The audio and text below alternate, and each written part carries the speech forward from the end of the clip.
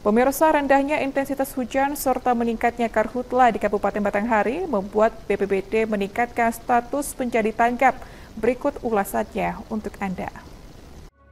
Terjadinya karhutla di sejumlah wilayah di Provinsi Jambi membuat pemerintah melakukan langkah pencegahan dan antisipasi, seperti yang dilakukan oleh BPBD Batanghari dalam menyikapi hal tersebut.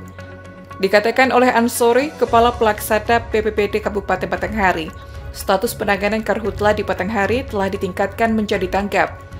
Hal ini menurutnya melihat titik kebakaran yang terjadi di Batanghari saat ini 118,134 hektar di 8 kecamatan.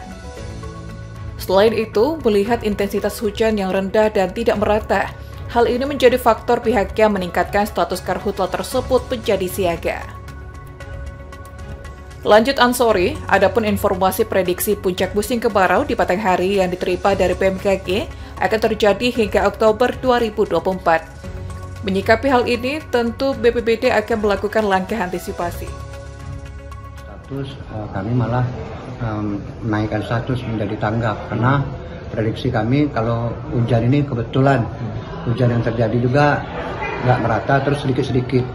Jadi ya, jaminan bahwa hujan itu akan menjadi uh, kami mencabut status tidak apa alasan kita akhirnya uh, dari meningkatkan status bang malah menjadi meningkatkan status ini bang? Uh, kami meningkatkan status karena kebakaran yang sudah terjadi di Kabupaten Batanghari sudah melebihi dari 100 jumlah tepatnya 118,134 hektar yang terjadi di 8 kecamatan. Oke, berarti artinya kondisi hujan ini tidak menjamin bang ya bahwa karuna hilang gitu ya? Ya tidak menjamin karena uh, tidak semua juga tidak rata hujannya uh, dan juga intensitas hujannya juga tidak besar hmm. hanya sedikit.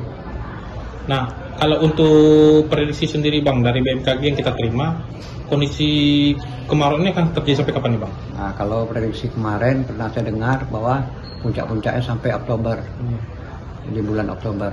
Okay apa yang menjadi kewaspadaan kita nih bang? Nantinya bang. E, dengan kondisi yang kalau kita lihat karhutla yang semakin tinggi nih bang? Eh, tentunya kami ya menjadi khawatir. Jangan sampai kejadian yang dah terdahulu 2015 sampai 2019 uh, eh, asap sampai tinggi. Dan juga kami berkoordinasi dengan uh, tim termasuk Manggalakni, Babinsa, BKPM dan masyarakat setempat. Dan mengadakan sosialisasi di beberapa kecamatan tentang jangan membuka lahan dengan cara membakar.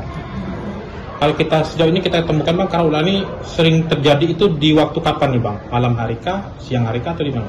Nah itu juga dibilang nggak tentu tadi pernah kejadian bakaran siang. Nah kayak kemarin kejadian di Mata Gual malam itu, hmm. itu pun kami dapatkan tumpukan dari stacking itu dibakar kayak kayak sengaja dibakar. Hmm. Nah itulah kami belum pernah tertangkap tangan untuk yang apa seharusnya ada semacam efek jerah untuk masyarakat uh, dengan cara membakar itu. Kendala yang atau kesulitan yang kita hadapi sejauh ini bang dalam upaya pemadam kebakaran hutan lahan ini apa bang? Nah, kendala yang yang terjadi kami ada semacam lahan yang tidak dimasuki, yang tidak bisa masuki, uh, baik roda 4 maupun roda 2. Hmm. Cuman solusi yang kemarin kami hanya menarik selang dari pinggir sebatas selang itu. Itu pasti kendalanya di situ. Halim Adrian, Cek TV, melaporkan.